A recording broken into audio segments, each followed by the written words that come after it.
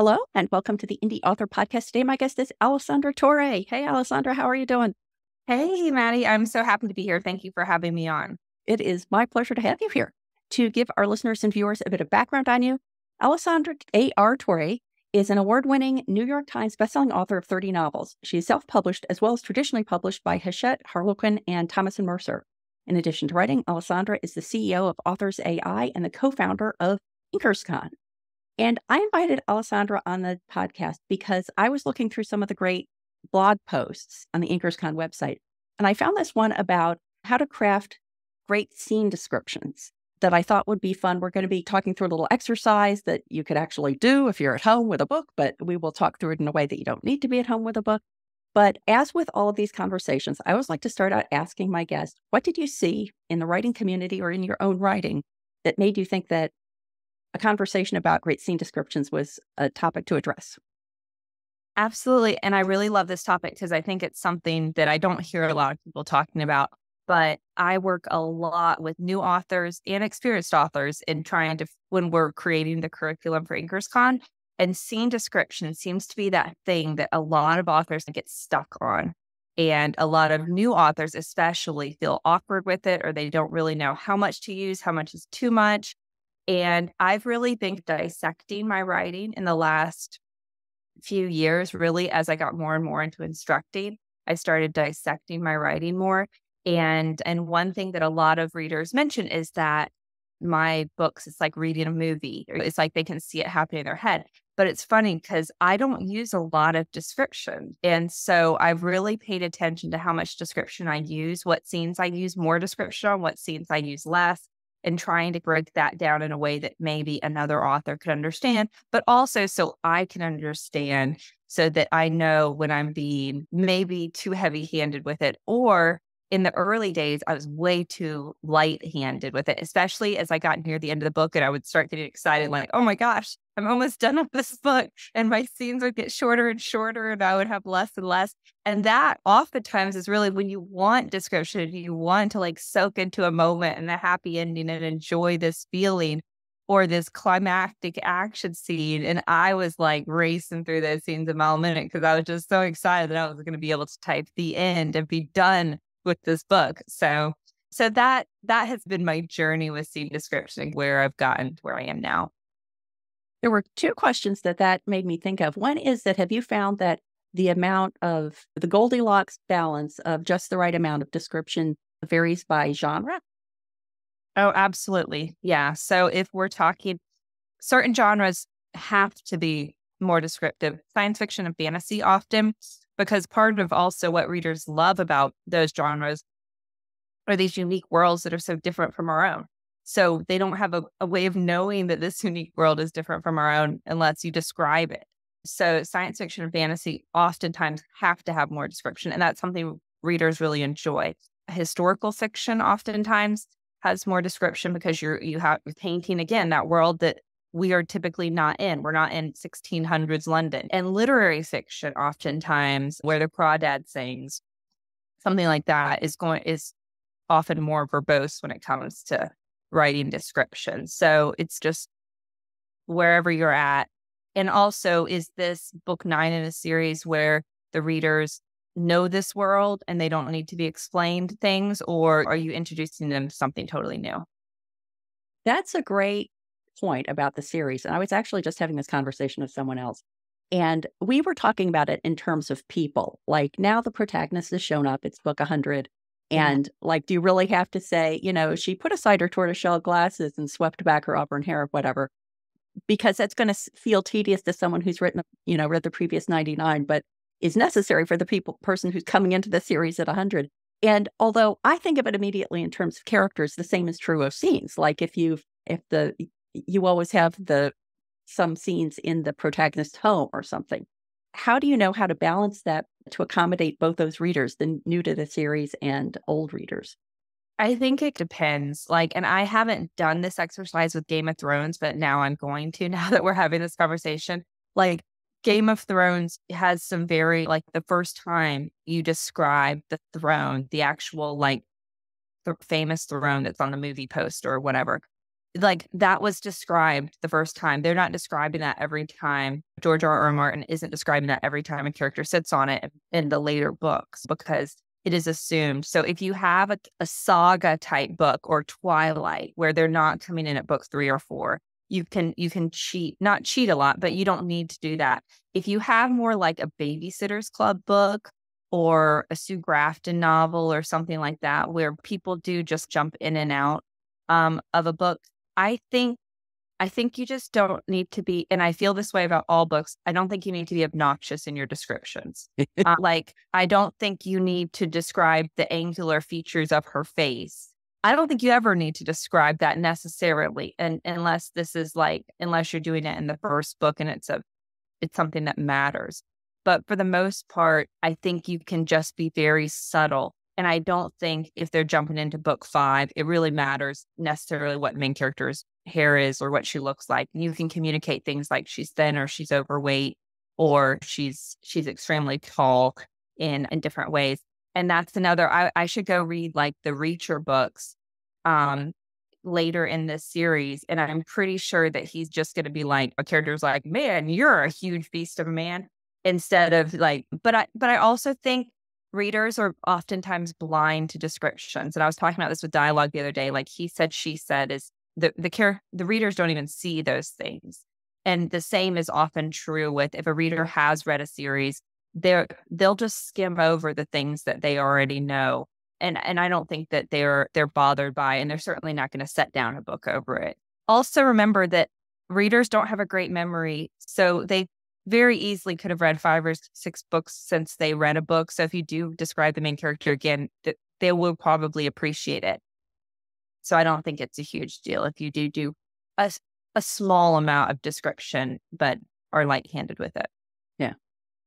I think for scenes, and now I'm thinking settings, particularly like the protagonist's house, there's sometimes shorthand like she lived in a rancher or she lived in a, a row house or she lived in a colonial right. or whatever. And then people have a general sense of what that's going to be like. And maybe that's all you need them to have. You don't need them to know that it was a, a single story home with yeah. brick or uh, something. But one thing that I've noticed, and I wish I could come up with a specific example, but I'm binging Michael Koryta right now. And he is really good at at describing a scene, but then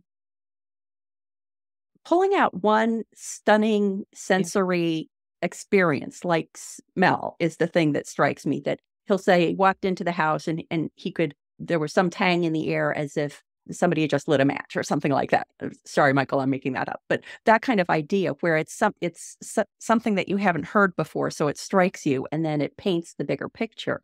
And I realized that when I'm thinking of scene description, I'm almost always thinking of visuals, but there's this whole lovely palette of other senses that you can use. Any advice on that front? Absolutely. And I love that you mentioned that. And that is often one of my tips that I talk about with descriptions and scene descriptions is you do have five senses. And if it's so, if you can vary those, what you use and picking a pivotal, what did I used to call it? I talk a lot about with clothing. Like I will normally only describe what someone is wearing if it is like a landmark item in the book, right? Like it's Julia Roberts' red dress and Pretty Woman or something like that, something that really matters or is going to stand out in the reader's head. But picking one detail, and it can be like if you get in, if a guy gets in his cop car and he kicks like an old McDonald's cup out of the floorboard, okay, you immediately know like his entire car is like a pigsty, right? You yeah. don't have to go into how it smells or that there was trash piled here there. You're like, okay, there's stuff in his floorboard and he's the driver. Like, this is a messy environment. And plus, I think you get a nice insight into him if he's kicking away a McDonald's cup versus a Starbucks cup versus a Peet's cup or yeah, or the Circle K hot dog wrapper. It's like, okay, he's not like this isn't a fine dining individual, right? Yep. Like he's having what he can eat when he can eat. I love descriptions, like one item that does like three things, right? Like that mm-hmm. tells you about like his diet, the type of person he is, and also the state that this environment is in.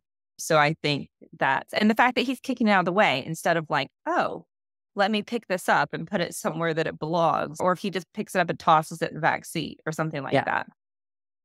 Yeah, the way I get stuck with clothing when I'm picking out one thing. So, as an example, I have a character who's a bodyguard in one of my books, and I wanted it to be clear he wasn't like a thuggish bodyguard. He was like he's wearing khakis, a button down shirt, and a sport coat. He's wearing yeah. a sport coat so that's hide, hiding a shoulder holster, and I wanted him to to be portrayed as a professional, not as a thug. But I found that if I said he walked into the room, he was he was wearing um, a sport coat, and you could clearly see that he was wearing a shoulder holster or something like that. I'm always concerned that there's this moment in the reader's mind where they picture like they're waiting for the rest of the description. So now they're picturing someone only wearing a sport coat. And I think that's just because I'm so deep in it. I'm like, I'm reading it at a level of detail that no other reader is ever going to read it at. But then I always think, I can't just say he was wearing a sport coat. Now I have to also clarify that he's wearing pants and a shirt, which is kind of silly. I what I do when I do that is I don't I rarely ever say she was wearing or whatever. I just have her interact with her clothing or him yeah. or like the sport kit he was wearing was a little too warm for the room, but when he looked around, everyone else had their jackets on, so he kept his on or something like that. Yep.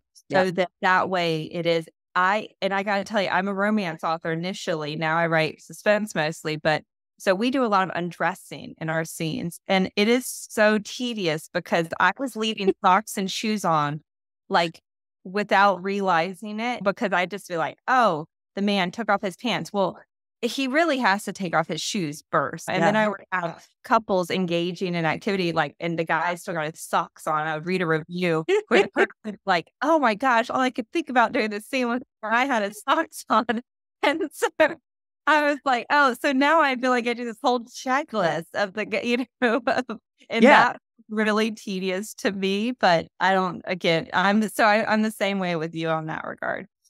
Well, that's a great point where you have to balance the lo- logistical accuracy. Like I was right. describing people taking clothes off a body, a dead body. And mm-hmm. I realized I had gotten the clothes like in the wrong order, so I had to go back. And it kind of made sense because I think as a reader, it's it's interesting to hear about how somebody would undress a dead body. But in the moment, if you're like writing a love scene and you have to remember about the socks, it's an interesting example of how do you balance logistical accuracy against taking people out oh, of the moment, slowing everything down. Yeah. So yeah. now it's just like, while he undressed, she did this. Yeah. Yeah. Or make it clear up front he never wears socks. He always wears flip flops, which are easy to kick off. The other thing that I thought was interesting that you had mentioned before is you were saying that uh, you find that the descriptions become less and less because you get to the end of your book and you're right. anxious to type the end. And I find that uh, when I do a word count of all the scenes in my book, the ending scenes are always the shortest intentionally because it's it's suspense or a thriller and so it like goes really speeding the pace yeah speeding it up and i'm cutting between two characters and things like that and so in that case i feel as if the closer you get to that climactic moment then the more important it is that you're using the least possible words to convey what you want to convey I think in general that's true, but I think that there are scenes in books where it's okay for the reader to be slowing down and, oh, I'm enjoying this description of the coffee bar, whatever. Any tips for how you balance that, the cadence of the descriptions you're providing? Yeah, and I love you'll have to forgive me because I use food exam food is like the example I always use on things, but I was just recently I did a class that was talking about um, storytelling and for me, there are some scenes that are like potato chip scenes, like they're fast and salty and, you know, they taste good and you can eat them in five minutes and then you move on with your day, you know? And, and so some scenes are like that. Like you just need this scene to get from point A to point B and it needs to be enjoyable, but it doesn't need to be like a production. And then you have some scenes that are more like casseroles, like they do they need to be fleshed out and they need to have inner narrative and dialogue and description and whatever and then you have scenes that are like feast like they're and in game of thrones the red wedding like that is like one of the most pivotal and if, if someone hasn't seen it it's just a, a humongously pivotal if if someone remembers one scene from game of thrones they're going to remember the red wedding and that scene needed a ton of buildup it needs a ton of description it's going to take 20,000 words to tell that scene and it's it's going to aftermath it's going to have humongous aftermath. So depending on what kind of scene you're writing And I think a book should have a variety. Like if it's going to have a feast, it probably only needs one feast. But that that change in the type of scenes that you're using is going to provide that interesting, like keep the reader on their toes and keep them from being bored. Because if you have three casserole scenes in a row, it's a little, it's a little slow moving. So I think it depends just on what is this like an enjoyable climactic? Like really my happy endings to my romance novels should have been more baked in. They should have been more enjoyable. The reader like finally got to this point that they've been trying to get to the whole book. And I was giving them a potato chip scene when I should have like let them enjoy and savor this moment, you know? So I think it depends on the genre and the individual story, how much and description is a is a big part of what makes that either a potato chip scene or a casserole or certainly a feast. And so I think as authors, we just have to look at each scene, and we do this without even thought. Typically, um, we we innately know um, how much it needs, and if something is is short and it seems like you're rushing through it, adding description is oftentimes a way to flesh that out. But it also can will slow down the pace if you're not careful. And so normally in those situations, I just and I often throughout adding description, I I will try to combine action and description. So, and and I will try to have my characters interact with their world and that's how I'm explaining their world by them walking through a room or picking up a prop or something that that tells them about the description without just flat out describing what a room looks like. Yeah, I like that when you would apply that to the the clothing. You don't say she was wearing. You say she tossed off yeah, like raincoat or something. Zipped up. Right. Yeah. Yeah. Exactly. Mm-hmm.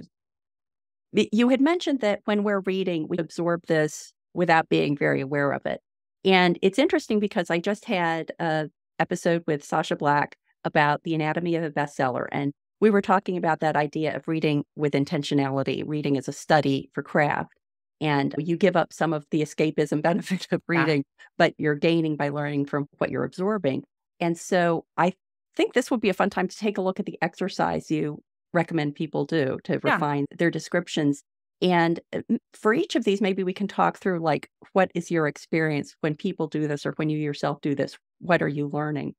So, what we're talking about is if you aren't sure how much description to use or how little description to use or what is normal for your genre. Um, so, the exercise that we're about to talk about will hopefully like clarify that, demystify it a little bit, and give you a better idea if you're on the right track or if maybe you're outside the parameters of what is normal. Perfect.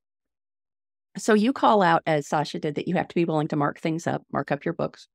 Have to get Don't over be that. Afraid to get messy. yeah. and so, uh, basically, the recommendation is you take the, the first book you've collected, you go to the first chapter and read the first scene, and then you rate on a scale of one to 10 how much you could envision the scene you're writing and how much you enjoyed and wanted to read on. Can you talk a little bit about just that aspect of it? Yeah. Like how weighing those two things plays out? Yeah. So, first, if you're doing this exercise, I would suggest you get three or four books that are popular in your genre and specifically your subgenre if you can.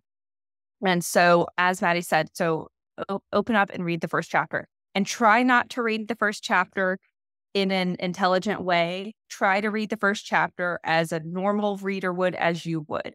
So, without remembering everything that we're going to be talking about in a minute, just try to sit down and just read it without thinking. And then at the end of reading that first chapter, rate it on what are the two things? How much you enjoyed it, um, how much you could envision the scene, and then how yeah. much you enjoyed it and wanted to read on. Yeah, exactly. So, was this a scene that really like came to life in your mind that you could just picture and and and feel like you're part of on a scale of one to ten? And also what your enjoyment was of this scene and whether you're interested in reading on. And the reason for this analysis is because sometimes you can really enjoy the scene and want to read on, but you don't feel like you were necessarily walking down the cobblestone steps. So it's the the purpose of this is to be like, oh, this scene really didn't it wasn't necessarily like I was part of the scene, but I still really enjoyed it. So you do that exercise with ideally like three or four books. So uh, once you've done that exercise for the first book, first chapter, the first scene, then you're flipping to the middle and you're repeating the exercise. Now, why do you recommend that going from the beginning to the middle of the book? So, because normally the first scene is like the hook scene, it's also the first scene where you're like, the reader is coming in totally cold, has no idea what characters, what environment they're entering in. So, normally the first scene will often have more description than a middle scene or then an end scene. So, in the middle scene, normally the reader knows about this world, they know what the characters look like, and granted, you're probably moving to different places, but there's oftentimes less description in a middle scene versus a beginning scene.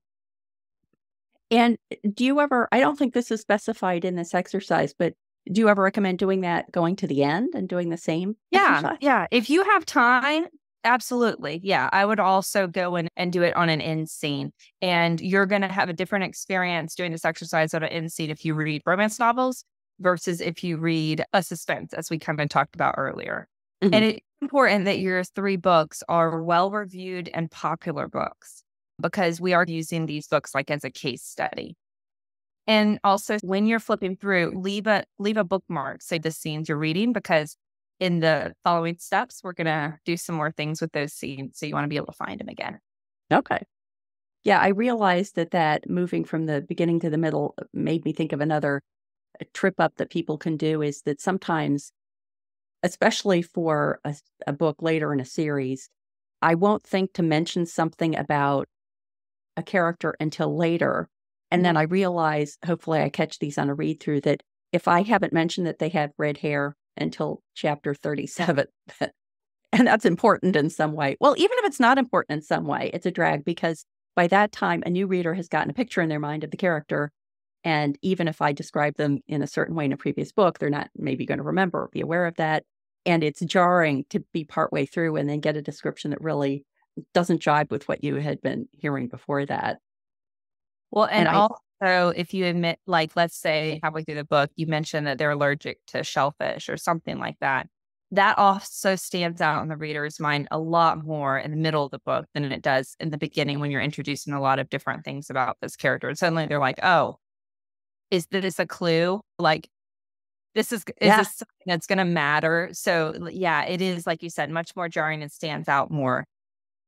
That's true. If you're writing mystery and you're setting up red herrings, then there's a whole other consideration for descriptions about how much weight do you want the reader to take from the description, whether that's as a red herring or an actual clue.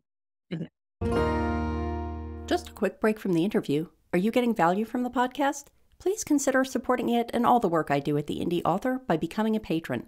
To pledge a monthly contribution, go to patreon.com forward slash the indy author, or to make an occasional contribution, perhaps to indicate the value that a specific episode or resource provided to you on your creative voyage, scroll to the bottom of any page at theindyauthor.com and click Buy Me a Coffee. And now, back to the interview.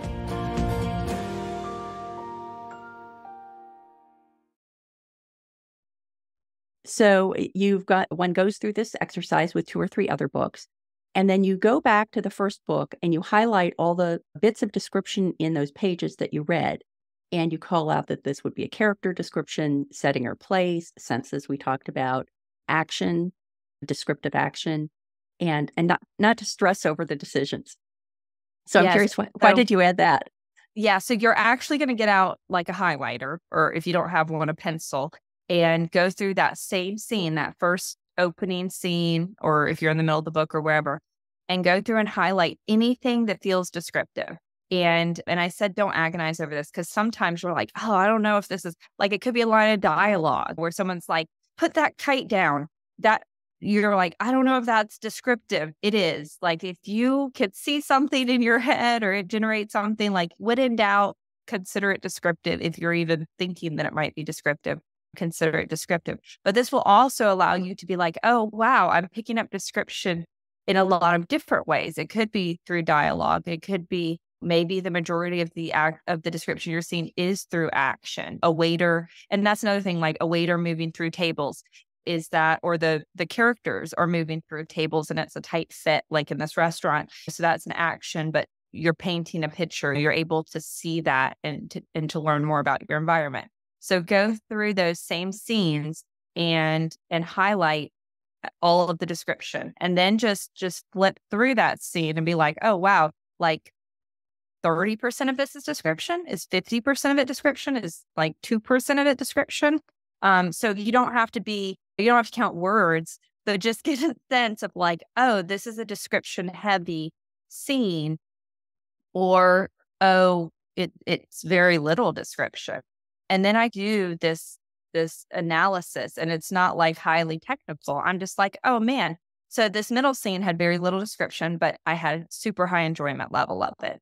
Or if I looked at all of the opening scenes, so so you take that amount of description and then you compare it to the ratings that you gave this book when you were reading it just cold and you and you see what you see there and were the sometimes the books that you felt were the most that you were the most in that scene and you could really envision it the most had the least amount of description. So then you need to go okay so what was it about the scene that even though there was a very small amount of description i really felt and normally it's they picked something really vivid right? Or they highlighted, like Matty said, they highlighted a, a sit and it was just so visceral that you were like, oh yeah, or I or or it's a familiar thing to a lot of us. We all know the sound of a train horn in the middle of the night or something like that. So or we all have woken up in our bed in the middle of the night. You don't have to describe what a dark bedroom is like. Like we all know what a dark bedroom is like. So just kind of analyze that scene and look and and see what you end up pulling from that. And someone, again, who writes science fiction is going to have totally different scores and feedback and walk away with it from this exercise differently than someone who writes cozy mystery or fast paced psychological thrillers. It makes me think that probably the most notable descriptions are the ones that are completely in line with an experience you've had. So I must have read in some book the line about it was like uh, when you get your new I may date myself by saying this when you get your new sneakers in time for school and you put your new sneakers on for the first time like I just remember that feeling being a little kid and getting the new sneakers and lacing them up oh, and how oh, excited I was. I remember the smell of them. Like, yeah, yeah, exactly. I bought my sneakers. We would buy them like in the middle of the summer, and I would not wear them until the first day of school, and I would just uh-huh. go in the closet and smell them. And I was, like, oh my gosh, I can't wait to wear the new sneakers. It was like I don't, that was a huge deal because I only got one pair of sneakers a year. that yeah. Was, that, was a, that was a huge deal for me. Yeah. Yeah. That's I think when people great. can pick those things that are really going to trigger, like obviously the, the sneaker thing has for us, or it's where it's jarring because it's so totally different. Like he, he pulled the shoes on they were because they were so tight but these were the shoes he had to wear for the rest of the year or something like that no no that uh, description goes against what each person's experience is. So I think you can tap into tap into either one of those for making really good descriptions. Yeah, I love that. I I agree with you. I think I've I've been learning more about like universal desires or universal fantasies. Not it's not a sexual thing. It's just like what what we enjoy as people. Like we enjoy a happy ending. We enjoy chemistry between um, people. And I think there are those core universal things that at least people in certain generations, we all know, like, or we've all felt loneliness. We've all felt embarrassed. We've all felt hurt. And so when you can tap into those things that a lot of people recognize that you can, you can skim a little on the description or don't, or, or on the description of how you feel because, because we know how that feels. Yeah, uh, the other thing this is making me think of is the experience of reading, and I can't remember probably just as well. I can't remember what book this was specifically, but it was a, a book I was really enjoying by an author I love. It was like a thriller mystery kind of thing, a road that was crossing a railroad track, but then on the other side there was water, and somehow it was significant, like where all the actors arrived at the scene and from what direction. And I got so bogged down. I'm like, oh God, I thought I knew where the water was, but evidently I didn't. Now I have to go back and figure out where the water is. And I think that kind of the logistical description where you're you're trying to move the reader through a physical space without having giving them yeah. the experience that I was having in this case can be really tricky. Do you have any suggestions for that kind of scenario? Well, I would try to make it easier. Like, for example, if she could have had like two roads merging or something like that. Um, but also, our readers, especially if you write in the mystery suspense genre, our readers are continually trying to understand what they should be paying attention to, right? And and if you do go into logistic detail or high value detail on a certain thing, that tells the reader that this is important and you're going to need to know this later. And sometimes, especially newer authors, will go into detail because this is a topic that I, as an author, know a lot about. But the reader doesn't know that. The reader just is like, oh, this is something I need to understand. So the whole movie, they're remembering the entire layout of this character's house when that never matters. And if you do take your time explaining where this character's house is in relation to the town and a path that they take to work each day and you know that they always stop at the railroad tracks or something like that some of those details are nice some of those details paint the picture but you need to be careful because if you do go into the logistics, it it takes up brain space in that reader's head and then they fight to remember that. And especially if that ends up not even mattering, then it can it can be annoying to the reader, but it can also cause the reader to then not fully immerse themselves and enjoy the story because they're so busy trying to remember, you know. And I'll see this sometimes in my own books. I'll see highlighted passages that don't need to be highlighted. Like it's not like it was a brilliant literary sentence that I wrote. And I realized like, oh, the reader thought that that mattered. And some, and sometimes it's good. Like it was a red herring or it was something. And other times it's like, I don't even know why I even put that in there. Like that was, you know, I was just, I, I was short on my word count that session and I was starting to come for both. But I had a really complicated logistics thing, I would work to simplify it somehow, unless that that was really needed. And you could draw a picture. You know what I mean? I mean, no, no reader is going to be irritated by, you know, by seeing, especially if you're like, if one character is describing to another and they draw it on a piece of paper, the napkin, like a napkin in the restaurant, and you have a little sketch in the oh, book. Oh, that's cool. There's nothing wrong with that. It's not and we can do that now with ebooks yeah. and everything. Audiobook, it's going to be a problem if yeah if if that is the only way for that reader to understand. But if it's just mm. supplementing what you are verbally saying, then then it's good. Yeah, that's a great idea. And I do think, as I recall, there was some um, like the setup was significant. The setup was the key to solving sure. the murder. You the, need it, right? You know, yeah. you you couldn't see that railroad crossing from across the pond or whatever but yeah, I think that the the map would have been super cool. And I also think that it would be a super cool description for a movie. Like once I sorted it all out, I could totally picture it as a movie scene, like, you know, the car coming down the road toward the water. And it would have been very suspenseful. But in in that context, it was tedious to get through. Yeah. Avoid tedium when we so yeah. For our sake and for the reader's sake, sir. And I also just wanted to highlight what you were saying about the fact that I think what you were referring to is that if uh, someone's reading on a Kindle, maybe other e readers too, but I think on a Kindle specifically, and, and they highlight something, then other readers can see what other readers have highlighted, right? Yeah, so, and it displays on your Amazon page, which has which has hurt me in the past because it's like the twist. Oh you know? yeah, like, yeah. Oh my gosh, they highlight it and then it shows up like on my Amazon sales page. But the good news oh, is I don't you know, someone who hasn't read the book doesn't realize that that's the twist. Right. It it just seems like an odd random statement like you're my brother, you know, I mean And uh, so I think that the last part uh, we've already discussed the idea of looking at your enjoyment levels and visualization and how it might match or not match the amount of description. And I, I think that that was really important. Like I enjoyed seeing that as the closing, that it wasn't like more description, better visualization, yeah. not necessarily.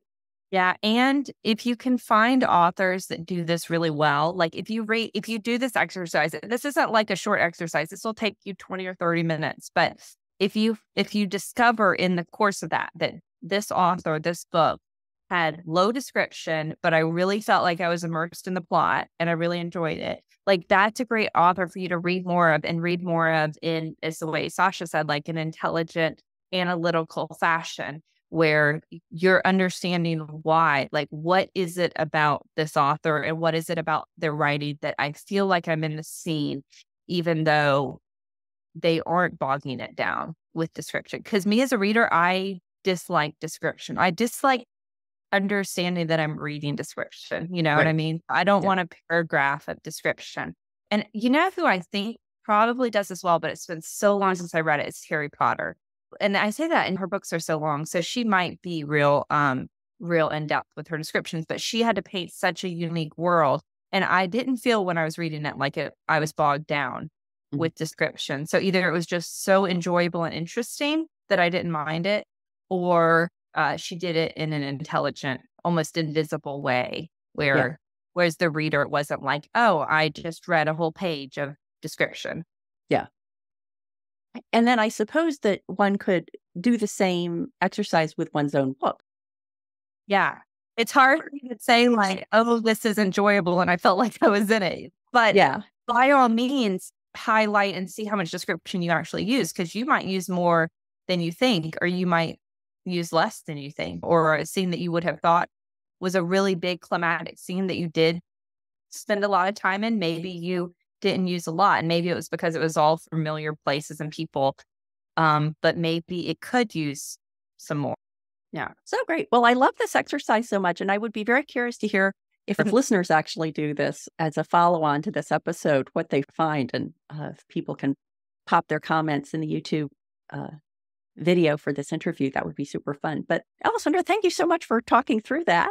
Oh, I love the topic. It's it's a super fun topic. That dialogue. There's so many. I mean, I think every topic's a fun topic, but but description is something I'm learning a lot about. Just recently, I've learned a lot about, and world building is something that I really didn't know a lot about that I'm learning more about. So yeah, so I loved having this conversation. Thank you for for asking about it. Oh, it's my pleasure. And there's lots of great information I can say on the InkersCon blog, but please let everyone know where they can go to find more about you and InkersCon and all you do online. Absolutely. So if you're interested in my books, you can check out alessandratorre.com. And I write romance and suspense novels. A.R. Torre is my suspense novels pen name. And when I'm not writing, majority of my time is spent at InkersCon. So InkersCon has a fantastic blog for authors so and it's obviously a free blog. So you can explore a ton of different options there. And while you're on the site, if you want to check out our conference, you can jump right in and unlock 30 full length classes. Seven of them are craft classes. And then we have marketing, advertising, and business classes, as well as a ton of best-selling author Q&As. There's just a huge amount of, of information that you can explore and have access to for six years. So that's our 2023 conference which is available now. And I think Matty has a coupon you can use for it. Great. Thank you so much. Thank you. It was really great to be here.